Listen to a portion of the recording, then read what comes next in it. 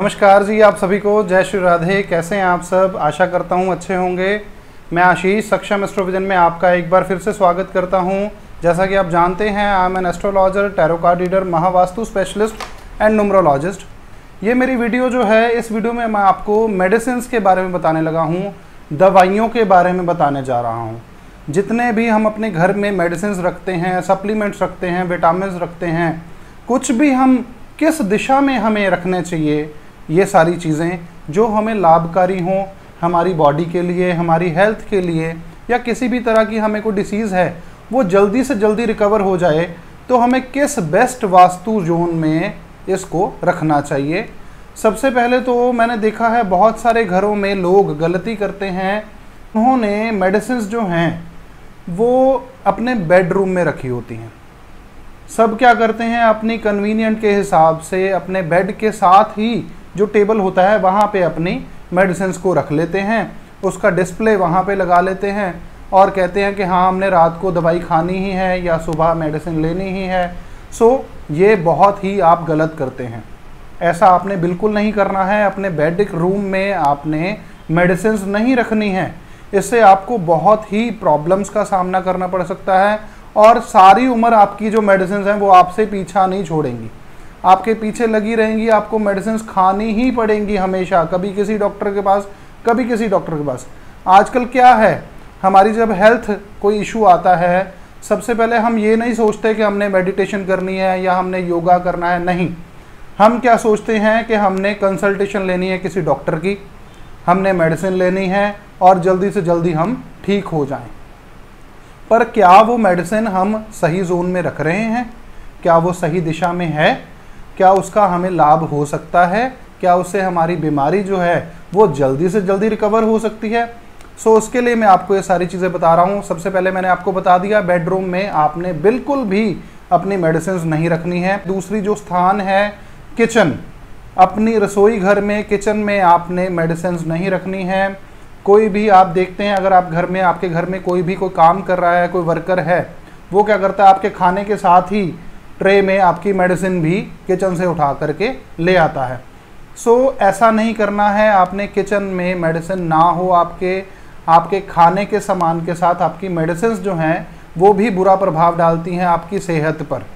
हमेशा कोई ना कोई बीमारी लगी रहती है हमेशा बच्चे बीमार होते हैं परिवार में किसी ना किसी को कोई ना कोई प्रॉब्लम्स जो हैं वो चलती रहती हैं। आप सबको पता है किचन जो है माँ अन्नपूर्णा उसमें विराज होती हैं। जो है माता का आशीर्वाद जो है खाने के ऊपर होता है। इसलिए आप मेडिसिन को किचन में कदापि ना रखें।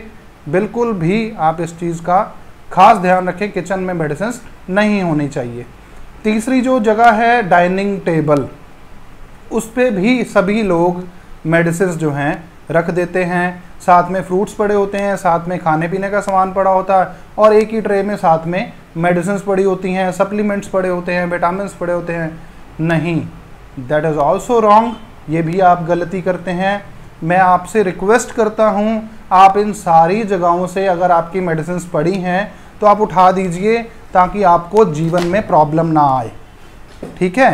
दूसरी जो बात है, आपने, अब आप कहेंगे, इतनी सारी जगहें बता दी कि मेडिसिन ना रखो, यहाँ पर मेडिसिन ना रखो। रखनी कहाँ पर है, ये भी मैं आपको बता देता हूँ। मेडिसिन आपने अपने घर की नॉर्थ ईस्ट जो वॉल है, आपके घर का जो नॉर्थ ईस्ट कोन बनता है नॉर्थ ईस्ट और नॉर्थ नॉर्थ ईस्ट दो दिशाएँ मैं आपको बता रहा हूँ, एक नॉर्थ ईस्ट उसी के साथ नॉर्थ नॉर्थ ईस्ट होता है ये दो जोन जो हैं, इसमें आप एक अलमीरा बना करके या एक टेबल रख करके जैसा भी आपको सूटेबल लगता है, वहाँ पर आप अपने सारे सप्लीमेंट्स अपनी मेडिसिन अपने विटामिन मिनरल्स आजकल लोग बहुत लेते हैं, इन चीज़ों को आप वहाँ पर रखें। रेदर देन आप कहीं पर भी इनको रख देते हैं, कहीं पर भी आपकी मेडिसिन का बॉक्स पड़ा होता है, नहीं। कृपया ध्यान दें, बीमारियाँ हमने दूर करनी है, हमें अपने, हमने अपने लिविंग स्टाइल के हिसाब से ही अपनी हेल्थ को ठीक कर लेना है ना कि दवाइयाँ खा के ठीक करना है ओके सो so, इसलिए मेडिसिन को नॉर्थ ईस्ट और नॉर्थ नॉर्थ ईस्ट में रखना है। नॉर्थ नॉर्थ ईस्ट में इसलिए कह रहा हूँ क्योंकि ये दिशा हेल्थ एंड इम्यूनिटी की दिशा होती है। आपकी हेल्थ को ठीक रखने वाली दिशा होती है। इसलिए अगर आप वहाँ पर मेडिसिन रख देंगे तो आपकी जो हेल्थ है वो हमेशा ठीक रहेगी। दूर दूर तक बीमारियों का आपसे कोई लेन देन नहीं होगा। इसलिए आप नॉर्थ नॉर्थ ईस्ट में अपनी मेडिसिन रख सकते हैं। और दूसरी दिशा मैंने आपको बताई नॉर्थ ईस्ट अब नॉर्थ ईस्ट में क्यों रखनी चाहिए मेडिसिन नॉर्थ ईस्ट जो दिशा है, ये गुरु की दिशा होती है। आप सबको मैंने अपनी पिछली वीडियोस में भी बताया हुआ है नॉर्थ ईस्ट जो है, ये शिव का स्थान होता है, भगवान भोलेनाथ का स्थान होता है। ओम नमः शिवाय। भगवान भोलेनाथ का मंत्र आप उच्चारण किया कीजिए, इससे भी आपको बीमारियाँ जो है वो नहीं लगेंगी। और अगर आप नॉर्थ ईस्ट में अपनी मेडिसिन रखते हैं, भगवान शिव क्या हैं? ये दुखों के संहारक होते हैं। आपको आशीर्वाद देते हैं, आपको जीवन प्रदान करते हैं। भगवान शिव का काम है। इसलिए भगवान शिव नहीं चाहते कि आप बीमार हों, ओके? सो, इसलिए उनका आशीर्वाद लेने के लिए वो सारी मेडिसिन वो सारे मिनरल्स, वो सारी जो सप्लीमेंट्स हैं, जो भी आपका सामान है ऐसी, वो आप नॉर्थ ईस्ट में, नॉर्थ नॉर्थ ईस्ट में वहाँ रखें। आपको बहुत ही लाभ होगा बहुत ही आप अच्छा फील करेंगे। आप देखना कुछ ही दिनों में आप कहेंगे कि यार वाकई ये जो रेमेडी है ये वर्क कर रही है मुझे जो प्रॉब्लम्स थी वो ठीक होनी शुरू हो गई हैं। इसलिए नॉर्थ ईस्ट और नॉर्थ नॉर्थ ईस्ट इसमें आपने अपनी मेडिसिन को रखना है अपने सप्लीमेंट्स को रखना है। सो so, इस वीडियो को लाइक कीजिए कमेंट कीजिए अगर आपको ऐसा कोई असर नज़र आता है अच्छा रिज़ल्ट आपको मिलता है तो मेरी वीडियो के नीचे आप मैसेज कीजिए कमेंट कीजिए तो मुझे भी अच्छा लगेगा कि आप फीडबैक दे रहे हैं। और इस चैनल को जल्दी से जल्दी सब्सक्राइब कर दीजिए, ताकि मेरी जो और सारी रेमेडीज़ हैं, और मैं छोटे छोटे उपाय मैं आपको बताता रहूँ, और आपके जीवन में अच्छा जो प्रभाव है, वो देखने को मिले।